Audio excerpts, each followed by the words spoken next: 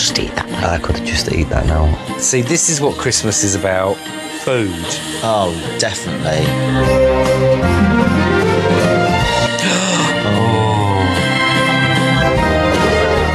That's belly pork, our, our favourite. Yeah, it is belly pork, in it? Oh, those look nice, don't they, Mary? Did you see those succulent morsels?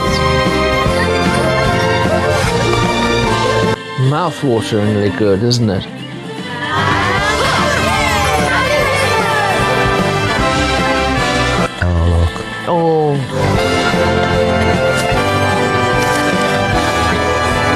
Gravy. Oh, I love gravy. Oh, oh. I'd love to be in that house. I would. I'm really hungry. Go and get me a roast potato and some gravies now.